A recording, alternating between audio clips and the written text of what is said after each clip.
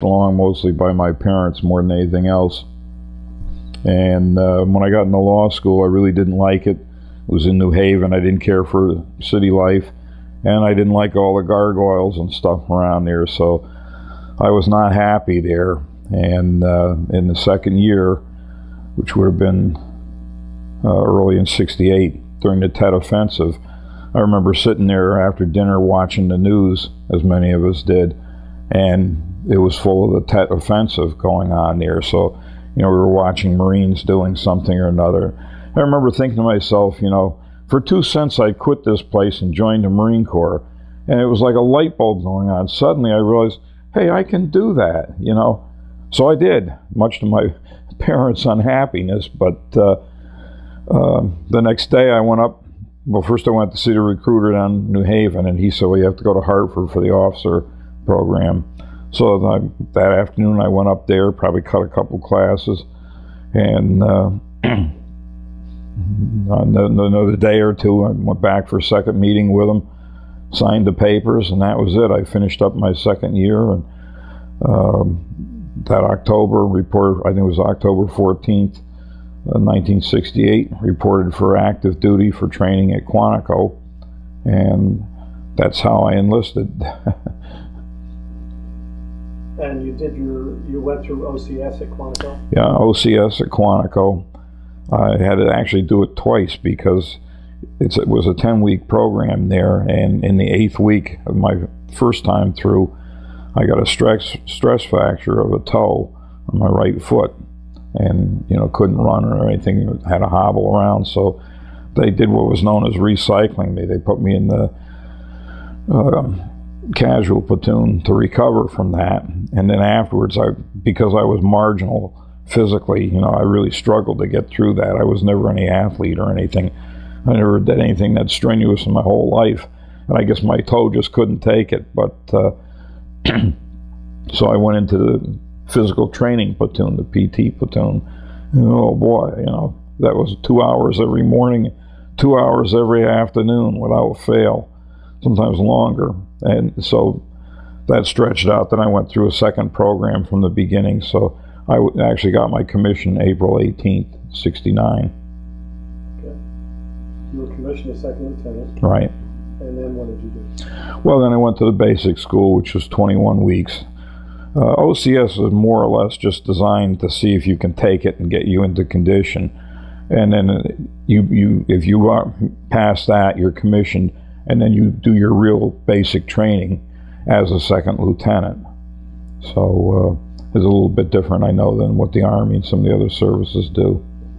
So after 21 weeks, past that, went home for a month, and then I went to, I had selected tanks as my MOS, and uh, that's a tank school was at Camp Pendleton, so I went out there for, I think that was a six week training course and from there headed right over to Westpac and on the 1st Tank Battalion at, with the 1st Division in Vietnam. Where, where were you stationed in Vietnam? Uh, with the tanks, well, the, the, battalion was located at division headquarters, and I think that was Hill 55, if I remember. All of the places were on hills there because it was all rice paddies, so, you know, and they all were known as Hill 55, 65, whatever the height might have been. But uh, but they, my particular platoon was located at uh, we called it Sea Anchor, but it was just just immediately south of Marble Mountain. You drove around some dirt road that went around a mountain. You went through a little village, and we were right on the shore, which is why they call it Sea Anchor. and I also had half my platoon at a place called An Hoa, which I believe was about 60 miles south of Da Nang. It was a better part of a day's haul to, you know, get from one place to the other. By? By whatever. I mean, you either went by jeep or, oh. you know, you'd have to sometimes, or helicopters. Sometimes they had a service. I'd have to go to, to the Marine Corps or to the uh, division headquarters and catch a helicopter flight down there. I didn't like flying in helicopters. That's one of the reasons I picked tanks helicopters can't pick those up. How do you spell An Hoa? It was A N and then a separate word H O A. It was the, it had the remains of some kind of a factory that they'd only put up the steel for it when the war started. And I remember it just as a sea of mud, literally. I mean, they had a parking area outside. They had inside vehicles and outside vehicles because the mud was so soupy, it, it tore the brakes and transmissions to all the pieces. So if you came in with an outside Jeep, you had to park it in an outer area, and then they had an inside Jeep come up to pick you up because you couldn't walk through that stuff.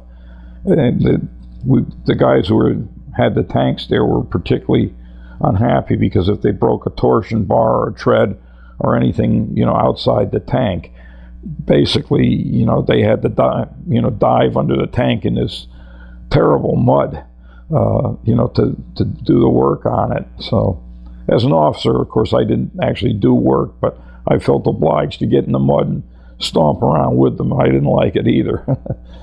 well, uh, when did you arrive in Vietnam? Oh, let's see. I got to Vietnam, not sure the actual date. It was probably like the 23rd, maybe, 24th of December, just before Christmas. Because I remember everybody there was celebrating, you know, Christmas. And I was feeling kind of depressed, having just gotten there and not having adjusted to it and all. And, uh, we were located near uh, artillery base there, so and I hadn't figured out the difference between incoming and outgoing at that point. So every time there was an explosion, you know, I looked for a hole to jump into. so that was 1223 69? 69, right. Okay. All right. And what, why don't you describe your duties? Uh, well, I was a tank officer, so, uh, you know, first I went to the tank battalion headquarters, and they had like a week long, you know, uh, indoctrination there, uh, procedures and whatever. And then I was assigned to a tank platoon, which was located at either Marble Mountain or uh, An Hoa. And I don't remember where I went first, but I went out to one, and I had a gunnery sergeant who was the second in command, and he had the, whichever two tanks I didn't have. We would swap like every two weeks or so. Um, but uh, you know, I was annoyed because I was looking for action, and wherever I went, nothing ever happened. Wherever the, the gunny was with the other half of the platoon, you know, their base got attacked or whatever. So you know, I'd promptly switch, and then the other one would. Be, be attacked. But the guys all liked it because they, you know, they were very superstitious over there. they promptly decided I was good luck. So both both halves of the platoon, oh, why don't you stay with us another week, Lieutenant? You know, no, I, I need to get over to the other half there. You know, we'll send the gunny back. You know. Remember the gunny sergeant's name? Um, his last name was Hansen, H A N S E N, and he was a, a terrific guy because really when you come in there as a second lieutenant you know you might outrank him but he'd been in the marine corps for over 20 years and he knew his stuff he was a tanker from day one so i mean you know that's really from him i mean and he was gracious about it well lieutenant you know i'd suggest that you know we do this oh uh, okay that sounds like a good idea yeah that's my order we'll do that you know but you know he, he really helped me learn a lot about it he left me. Well, he got reassigned, better assignment. I think he went back to battalion headquarters or whatever. And they sent me another guy who was an alcoholic. I don't remember his name, but the first night it was at An Hoa. The first night he was there, you know, I came back from the old club or wherever I'd been, and he was just about passed out. So I said, well, it's his first night out here. Nerves, I guess. So I didn't say anything. Next night, he did the same thing. So the third night, I said, I think I'll make some changes around here. So, you know, I pretended to go out, but I came back half an hour later. He had a whole suitcase full of Jack Daniels bottles. So he was just opening it up. I said, You break the seal on that bottle. And I said, Tomorrow morning, you pack everything up, go back to division, to, to battalion headquarters, and tell them I don't want you because you're an alcoholic. Oh, he was terribly offended by that. I'm not an alcoholic, you know. I can take it or leave it. And that's good. Then leave it for the rest of the time you're here. So he pretty much did. Because, I mean, he again had, you know, maybe 18 something. He wasn't quite ready for retirement, as I recall. And, you know, if I had sent him back, that would have been the end of his his Marine Corps career. They would not have allowed him to reenlist. So, but it was unfortunate. But who did you report to? I reported my company commander was a first lieutenant, and I do not remember his name now. But he was a Mustanger. You know, he'd been enlisted for a number of years and then had gotten a temporary commission. I, I, ran into some of those guys later on when, you know, when I was back at headquarters Marine Corps. And by that time, the war was winding down and they got reverted back uh, not usually not to the rank they'd been, but because they got promoted automatically in the enlisted ranks while they were in, temporary commission. So you know they were usually like master sergeants or gunnery sergeants by that time.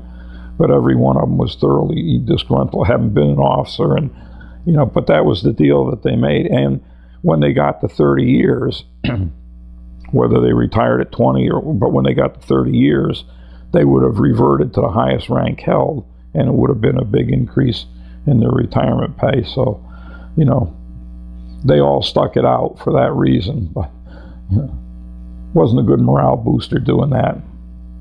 Why don't you um, briefly describe what a typical day would be like? Uh, you know, I don't really remember. At Sea Anchor, we were posted they had an outpost that we called it the leprosarium because it had been a leprosarium uh, before the war. And they had an outpost that I think was like maybe 10 miles down the beach from there. So we were posted out there with two tanks, and they generally just used us on perimeter duty at night, you know, because we did produce a lot of firepower if necessary. Uh, a few times they had operations, but you know, the terrain around there was treacherous because tanks you know, are heavy and they sink pretty easy if the, you get soft ground. So, but I know we went out on a few operations to provide, you know, a mobile artillery platform, so to speak, for them. Uh, at An Hoa, we used we were on perimeter duty at night there too, and during the, in the morning they would do a road sweep, and they always sent two of the tanks out with the road sweep. I found out later on sometimes the engineers didn't have batteries for their their uh, metal detectors, so they put the tank out there first, figuring, well, if there's a booby trap there, that'll set it off, and they'd be walking along behind with a non-functioning mine uh, battle or a uh, metal detector. Were you involved in any um, in major battles? No, you know, as I say, you know, I was highly annoyed at the time, but wherever I went, peace generally reigned.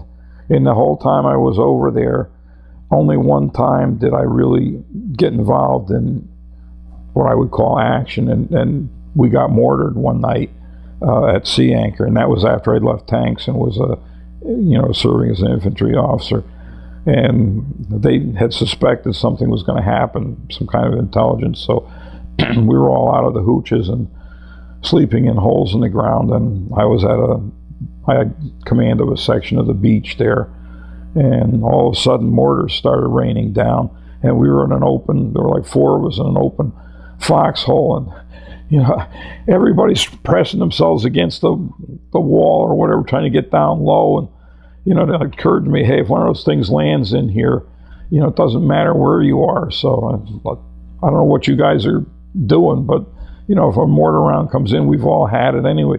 So we, yeah, you're right. So we all stood up. I mean, the hole was deep enough. Our heads were protected there. They had sandbags around there. We're all staying there with our hands in our pockets, you know, looking up in the air, wondering if we were going to get hit by a mortar.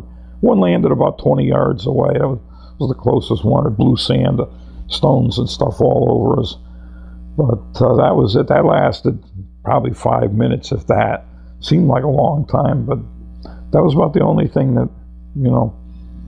Uh, How did you feel when you first got there? Uh,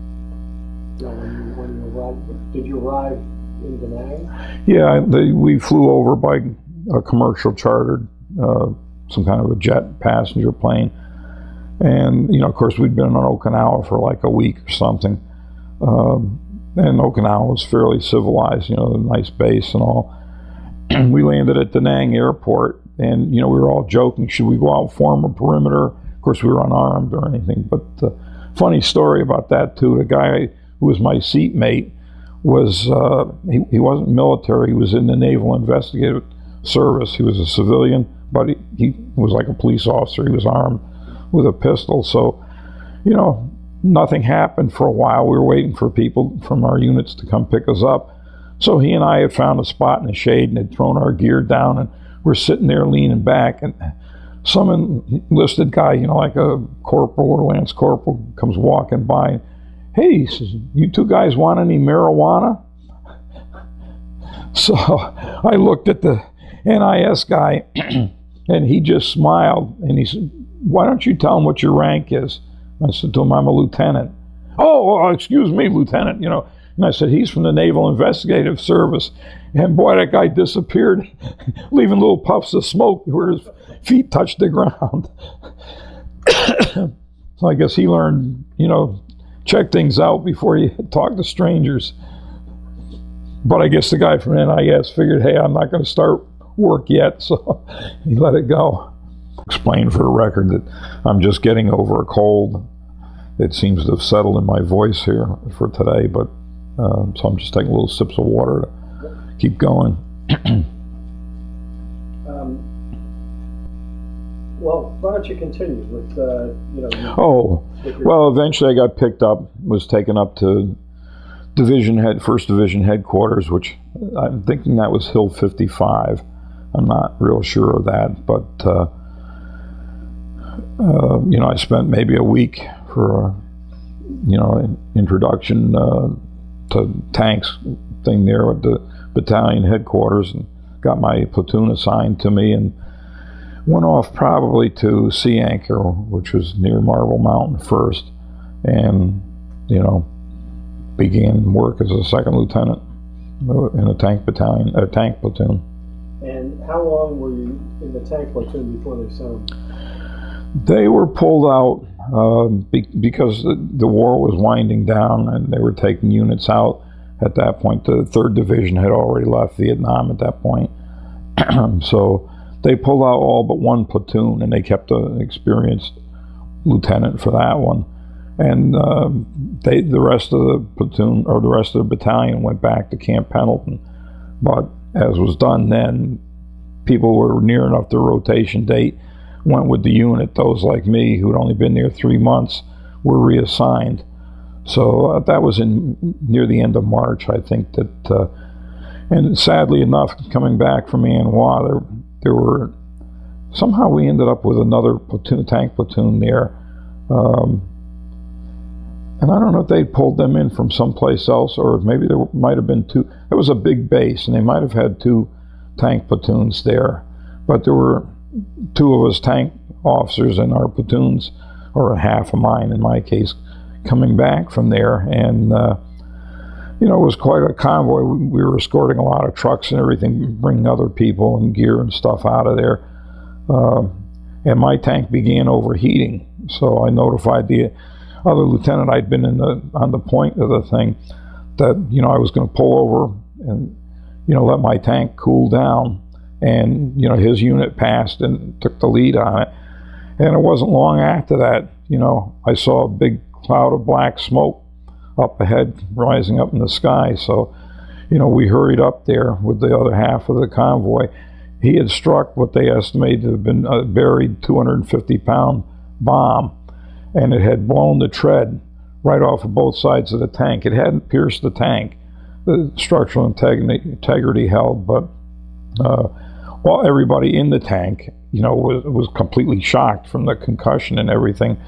And unfortunately, they had had a guy who had been our radio man uh, was sitting on the outside of the tank. He was riding, leaning up against the front of the turret, and he was blown off the tank, landed in, on the road in front of the tank on his back, and the tank skidded up on him right up to his waist, you know, because there were no wheels or tread left on the front end.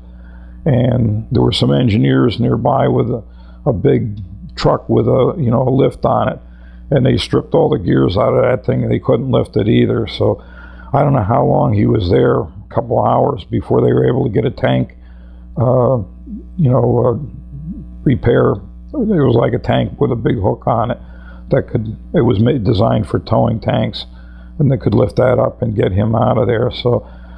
Um, he actually was part of the other guy's platoon. He went to see him at the the temporary hospital there in Da Nang. He lost both legs up to the waist. He was 19. Did, were there many casualties in your unit? No, that was the only one. Uh, you know, that area was, I think, Viet Cong, not in NVA, and it was small unit tactics, ambushes, booby traps that sort of stuff. And I don't think they ever had the firepower in one place to attack. You know, we never went one tank at a time. There were always at least two, um, and always with supporting infantry and all. So, you know, you needed a lot of firepower to attack something like that, and it never did.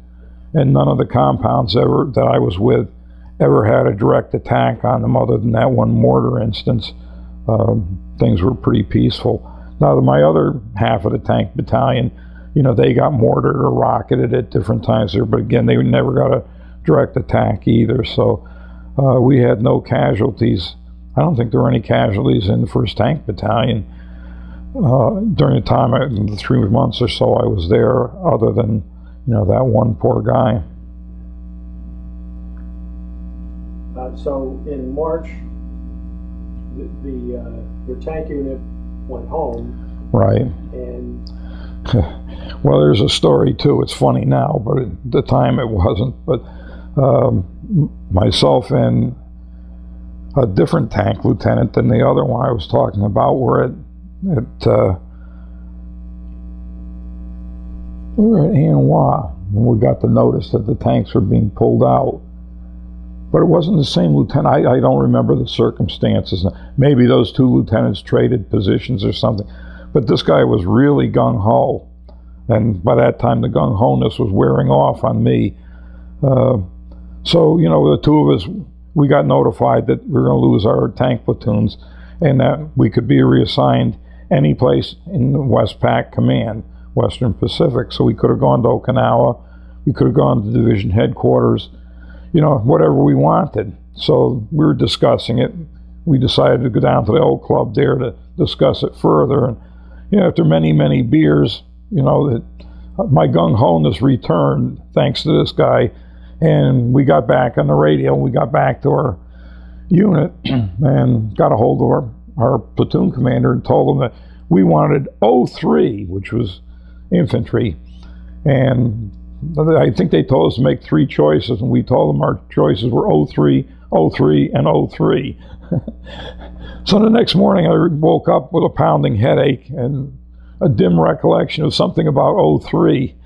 So I immediately tried to get a hold of my platoon commander, or my company commander again, and got him. And before I could say anything, he said, Oh, he says, I was just going to get a hold of you. He says, I ran into the commanding general at breakfast this morning and he, I told him I had two lieutenants who told me that all they wanted was 03 and nothing else. And the general said, well, then give it to them. so too late to change that. So I ended up, of all places, back at 2nd Battalion, 1st Marines, which was the, the infantry unit at, at Sea Anchor that I'd served with with my tanks. and that place was Booby Trap City you know, and they kept sending patrols out there, and every night, you know, it seemed like somebody would get blown up and lose a leg or get killed or whatever. So I figured, oh boy, I've really done it to myself now. But they discovered that I had two years of law school, um, and their legal officer, who was a lieutenant from Darien, I don't remember his name now, but he had gotten uh, hit by mortar fragments two nights before and was medevaced out. He recovered. He wasn't that badly injured, but uh, I guess he was close enough to his rotation date. He wasn't coming back. So they said, well, you know, they'll make me a legal officer and also supply officer. So I, I was more than happy to accept those two assignments. The other guy that talked me into doing that came there about a week after me, and he did get a platoon. He was he was gung ho permanently. I was only gung ho at that point. With I'd had like six beers, but uh, so he got a platoon, and he went out. And while they were setting up an ambush out there one night, suddenly rockets started going off near them. So a Viet Cong group had set up rockets to shoot at the division headquarters, or no, probably the Da Nang Air Base, because we were just south of that. Um, so he took his squad and charged over there, blazing away, scared all of them off. But then he was ordered to stay there for the night and protect the rockets, you know, so that the Viet Cong couldn't come back and shoot them. So he said it was a long night, wondering if they would come back, but they never did. So he got a Silver Star for that, and he managed to get through the thing with, you know, he I know he he left for home before I did, and he was hundred percent there. And I don't think he had any injury. I don't think anybody in his uh, platoon, but I know he told me that at different places, they, some of his guys refused to take point. So he said, you know, he had to take the point to show them that, you know, he was the leader. So he said he did it. You know, he wondered if every step he took would be his last. But fortunately for him, he went home in one big piece. So. Do you know his name? No, I don't remember any of those names now. It's, I understand. Yeah, it's been 40 years.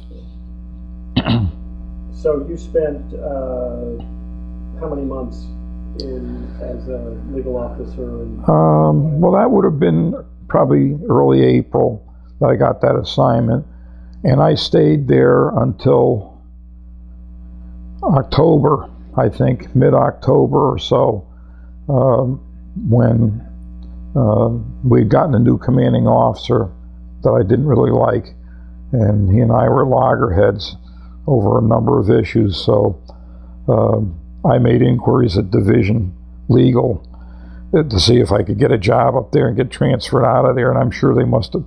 I realize now that they probably called them and said, "Hey, you've got a lieutenant there who's not terribly loyal and looking for a transfer out of there."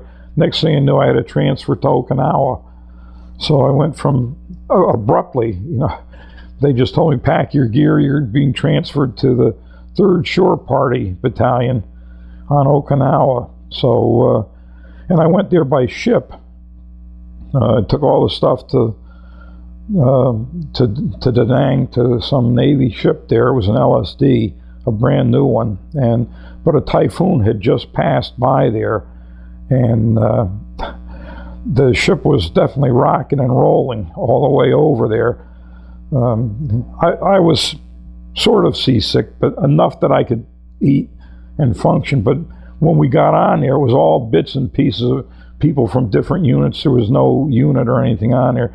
So some major discovered he was the highest ranking Marine officer there. So the rest of us were all looking forward to a nice, easy cruise, you know, from the privates right up to the lieutenants and captains and this guy had decided he was going to take charge and you know he assigned he built a rank structure there we were divided up into units and i was responsible for so many enlisted men whose quarters were way down deep in the hold where if you got seasick you didn't want to be so the only good thing about it was the ship left in the middle of the night and i woke up in the morning you know the ship we were well we were out of sight of land at that point and that thing was rocking and rolling. Waves were crashing over the front of it, and uh, so I immediately went up to deck to you know get some fresh air and look at the horizon to settle my stomach, and uh, discovered that this major had turned solid green, a color which he remained for the whole trip.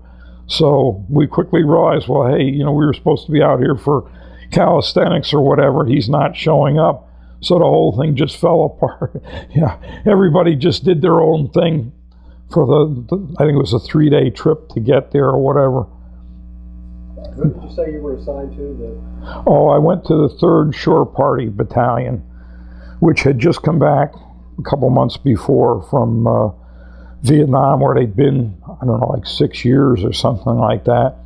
And they there was a major there who was a temporary major although he was he had a permanent commission, but he'd just gotten some kind of a promotion to major, but he wasn't a permanent major.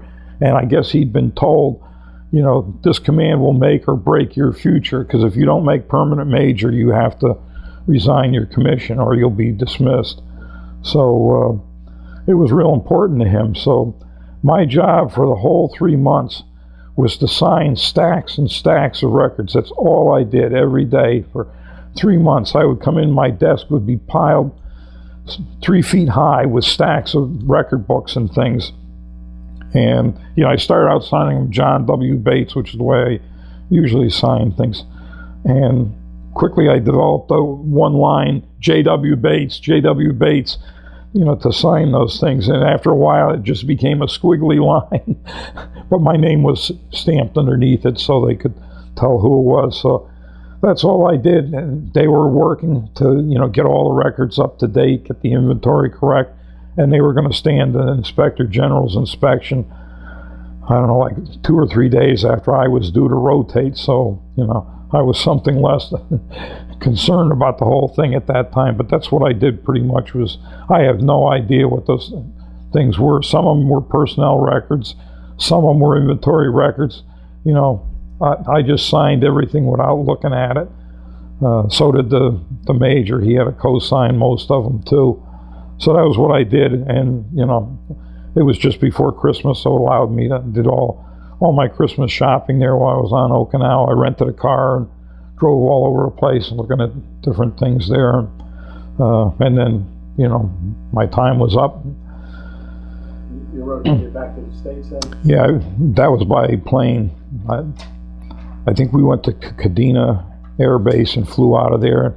It flew north to Japan, landed to refuel, and then it, we came into Travis Air Force Base, and we had to be transported down to. Uh, it's a Navy base, it's out on an island out there, and I can't. Uh, Treasure Island it was called, and that's where we were checked back in and put on leave, and then we flew.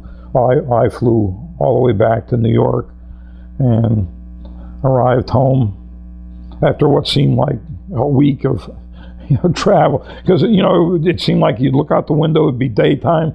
You'd look out the window, it'd be nighttime. And because I get air sick, I would take Dramamine. So it made me sleep a lot of the time. So I was never sure what day it was or whatever. But I got home just before Christmas of uh, 1970.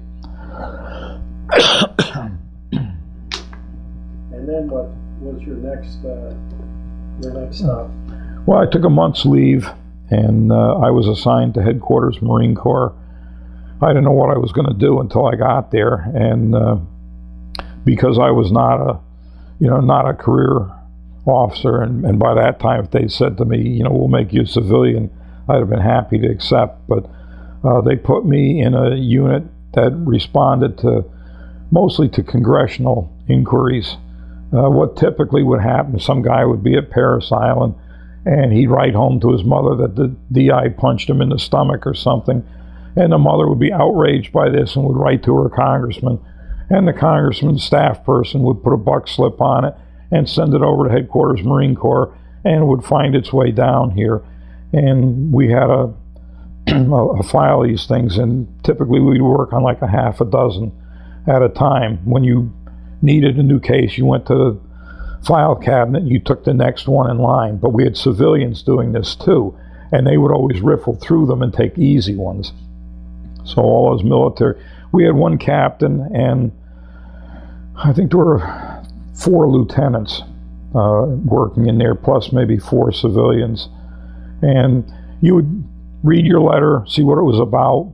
Uh, if it needed to be researched, for example, if it was a Parris Island thing, you would call somebody in, in, the Island structure who responded to that. But it was funny because, you know, you'd call up and you'd say, this is, by the time it was the first lieutenant, this is First Lieutenant Bates from Headquarters Marine Corps. Headquarters Marine Corps? Oh, yes, sir. What can I do for you? And this is a captain or a major. You're talking about, yeah, uh, yes, sir. I'm First Lieutenant. Oh, yes, sir. I heard that. Headquarters Marine Corps. What can I do for you? So I tell them, well, I need this checked out or that checked. Yes, sir, we'll get right to that, you know. One time I actually had to call some general out in uh, in Japan, and uh, because of the, the time difference there, I, it was the middle of the night when I called over there, and his aide didn't want to wake him up. And I said, "I'm sorry, but I'm calling from headquarters Marine Corps," and that was a letter that would, would be signed by the commandant. And I said, "I'm preparing a." A response to this letter for the commandant's signature. Oh, the commandant's signature. You know, the next thing I know, I was talking to a very groggy general. Oh, yes, sir. What can I do for you? Yeah. Uh, well, the commandant wants me to find out about this, that. Actually, I never met the commandant, but you know, I found using his name seemed to make things go smoother. Oh, I don't know anything about that, but you know, I'll have somebody on it right now. You know, so somebody, went, and of course, they would call back and it'd be the middle of the night the next day. We had answering machines on our end, so I'd get the message off of that and respond. But um, after after I worked there for like a month, I mean, I had been to law school for two years. I'm a pretty good writer, if I say so myself. So uh, a select group of us could prepare responses for the commandant, and I quickly joined that group, even though I didn't want to. Uh, but those had to be, you know, you had to have the, the letter, proposed letter on top, and then you had to have all the backup documentation, all tabbed and everything. It was a, a big deal just to put the package together, even though we had secretaries that did the typing and all. Uh, and then the lieutenant colonel that I worked for would take it across the street and it would be reviewed by the commandant's staff people. They might make changes and he'd bring it back and I'd make the changes. And when he finally signed off on it, you know, you were done with it. But they were major productions, like producing a term paper or something. And at the same time, you'd be juggling a couple routine ones that some were signed by the lieutenant colonel I worked for. You know, it depended on how important the congressman was. Uh, you know, like the ones that were from the uh, one of the chairman of the um, the defense uh, committee. Those would be signed by the commandant. Uh, a lesser person, somebody who's just a member of it, then there'd be some general over there, you know, so on down the line until uh, you know it, it, was just somebody who'd just been elected to Congress and House of Representatives. Nobody had ever heard of them. That'd be signed by the lieutenant colonel I worked for. And you did that until the end of your. Uh... Yeah, I did that for a year, and. Uh, so you were in for a total of three. Three years, three months, and one day. I used to know the minutes and hours too, but I've forgotten that. And then when I got home, uh, because I was going to go back to law school and finish up that one year that I had to do, uh, I stayed in the active reserves, and I was uh, the nearest reserve unit uh, to New Haven, which is where I was going to law school, was uh, a truck unit. And I don't remember what the official name of it was, but it was a transportation company, I think. You know, the reserves are all broken up and are spread all over. And I think it was a truck company that I was with. But of course, officers don't drive trucks. So, you know, we didn't really have much to do but schedule the meetings and occasionally do some sort of a training thing or something. And, you know, there was a. Uh, there were two infantry reserve units. One was in Hartford, and I think that's now moved out to Plainville. And then there was another one. I don't remember where the second one was. Maybe it was in Massachusetts, but if they were going to run some kind of an operation, we would supply trucks for them for transportation. So I never went out on any of those. Usually it was all just enlisted men. You know, depending on how many trucks, you'd send a staff sergeant or a gunnery sergeant. But then they all liked doing it because you know, even if it was a tactical situation, trucks are never really tactical. So, uh, you know, it was basically an overnight camping trip for them. They'd bring plenty of food and stuff, you know, watch the grunts running around, you know, living in the mud or whatever. So I did that for a year and I got my veterans benefits. And I think at the time the VA benefit was like $100 or $110 uh, a month. And I, as I recall, my uh, reserve pay, you got two days' pay for one day's work, if I remember. And typically you worked one weekend a month. So it was four days' pay. And I think that came to about the same. Maybe it was a 125 or something like that. But, you know, it doesn't seem like much now, but $220 or whatever it was a month back in 1970 uh, and three was a fairly decent chunk of change. and I had saved a lot of money from when I was overseas. Uh, so you know, I got my last year of law school done, and I stayed in the reserves. I think for a few months beyond that, but that one, it, always seemed to me if it rained three weekends out of the month, the one sunny month would be the one with the reserve meeting. So uh, I quickly got tired of that. Stayed in the active reserve, inactive reserves rather, for maybe another two or three years till I got a letter from the Marine Corps saying either go active again or, you know, submit your resignation. So I submitted my resignation, and that was it. Were you were you married when you went to? No, no, I didn't get married until I was up here. I should should say in there. Uh, first of all, even though my name is John W. Bates, I've always been known as Jack because my father was also John. So we could tell who my mother was yelling at. As we used to joke, although my mother never really yelled much. But uh, I was born and raised in Norwalk, Connecticut, graduated from high school, Brien McMahon High School there, went to Bethany College in Bethany, West Virginia, and then went on to Yale Law School after that. Um, so that's my uh, track record there before the Marine Corps. And then after the Marine Corps, I worked briefly as a lawyer. And, just as I didn't like law school, I don't know why I was surprised, but I didn't like being a lawyer either. So I was casting about for something else to do, and I took a job with the state as a grant administrator working with criminal justice grants, federal, state uh, money. And I did that for the next 25 and a half years and retired. Okay.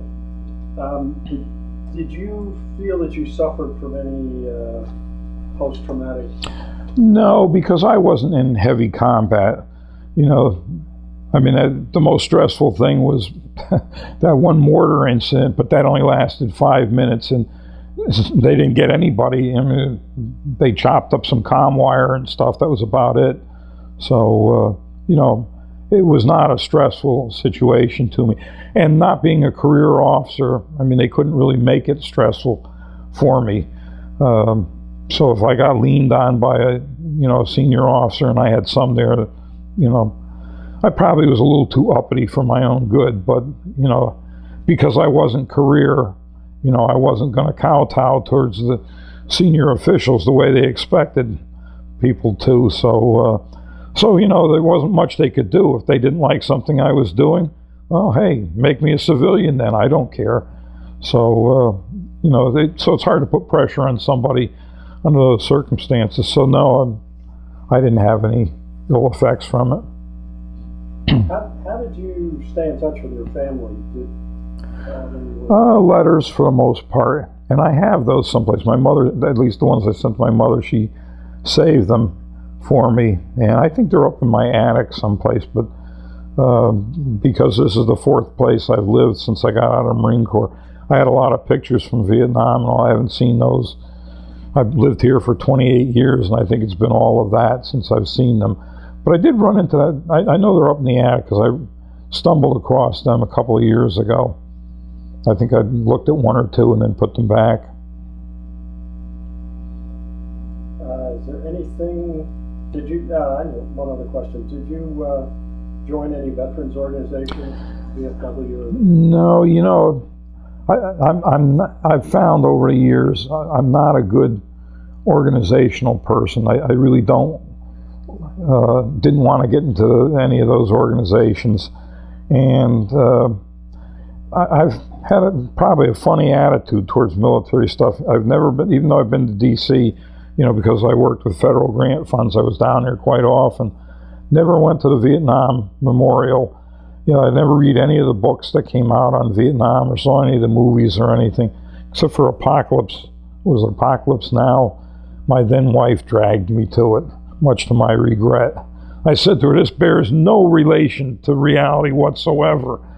But, you know, to her it was entertainment. But, uh, and the reason for that is the one thing that I really feel bad about I mean, 55,000 guys lost their life serving in this thing. And for what? You know, at the end, it wasn't the military who lost it. I mean, we could have kept going. It, it was this the civilians. I mean, the country turned its back on it. The politicians just kind of were looking for some way to save a little face and escape from the thing. I mean, we lost the war. And, you know, it bothers me that 55,000 guys lost their lives, countless others maimed, uh, and for, for nothing, really. In my, even if we won the war, you know, I don't know what anybody would have wanted with that country that had no oil. I mean, they really had a big labor supply, as Nike found out afterwards. But uh, you know, it, just when I think of it, it just saddens me to the point I don't want to see the Vietnam Memorial. I don't want to read about it. This is really the only thing I've done in the way of talking about it. Somewhere I read in a history that uh, before we really got into it, when the French had been beaten and the country, Vietnam was kind of muddling around and civil uh, strife there, that uh, John Foster Dulles, who was then Secretary of State, was at some meeting or whatever, and a high North Vietnamese official. In fact, I think it's the one that eventually worked with Henry Kissinger and and you know came up with the peace treaty there. But that he started to approach uh, John Foster Dulles with the idea of you know trying to make contact with the U.S. They really didn't want a war with the U.S. and probably would have welcomed. Because it turned out, I mean, we were in there because we thought it was the domino thing. You know, China's going to take this country over. Well, lo and behold, the Vietnamese and the Chinese never were very friendly and still aren't to this day. And they weren't terribly thrilled with the Russians either. They would rather partnered with the U.S. probably uh, if they could have. But Dulles turned his back on them and strode off, making it clear that you know he considered him to be an enemy and wasn't going to have any discussion with him. So, you know, I think to myself, gee, if, if only he sat down and talked to the guy for a while, you know, maybe they could have avoided this whole thing. And of course, a lot of Vietnamese were killed and maimed or whatever. Uh, and in the end, the North Vietnamese really control the country now to this day. I mean, it, it's run by the North they're a different ethnic group. It's Annamese in the south and something else in the north. And that northern group really has, retained control of the country uh, to this day. But, uh, you know, it, it, it, just, I'm terribly saddened to think of all that carnage. And then we just turn our back. And that's what bothers me about Iraq and Afghanistan, too. I really see the same thing coming. You know, Obama took a uneasy one here when uh, the Iraqis refused to, to give uh, immunity to American servicemen serving there. Gave him the perfect out. Well, if you're not going to do that, then we're out of here. So that was his excuse for pulling out. And I kind of think that whole thing, I mean, it's it's going to fall into some kind of a, you know, probably a radical Muslim uh, group will end up running it. And the same thing, you know, Afghanistan, they're just shoveling sand against the tide. And I'm, I think that the Taliban will come back there, although this time they may decide not to let Al Qaeda in there, because uh, apparently they blame Al Qaeda for getting them dragged into this to begin with. Um, so, you know, maybe there'll be some good out of it, but I doubt it. Did you, were you harassed at all when you got back by any of the anti-war? No we had to travel in uniform, of course, to get the military rate. So when I flew from, and I must have looked a mess because I, I don't know how long it was. I remember shaving in, at Travis Air Force Base, uh, cut myself several times, you know, in a bathroom there in the airport, and then flew home. And, you know, same uniform, never got a chance to change or anything. So, uh, but I didn't care. if I was headed in the right direction. but uh, no, I didn't see anybody. Uh, but of course, I think when I was in California, most of that was at night. I landed at Travis, went to Treasure Island, and then went to San Francisco Airport. I think that was like all night time. And when I landed in New York, you know, I hopped on one of those shuttles and zipped on home. So I didn't see anybody. Nobody came up to me and said thanks for your service or anything like that either. But uh, anything you'd like to add as a as a wrap up? No, I can't think of it. I think we've pretty well covered everything. I did want to get in that part about, you know, not wanting to uh, have anything to do with like the Vietnam Memorial or any of those things. And I know for some people they're a real touchstone, but uh, I just think that, you know, I, I, I don't look for sadness. If I can avoid it, I do. And I see no reason to go there and inflict any more sadness because I think that's the reaction I would have to it. Okay, well, thank you very much. Sure. And thank you for your service.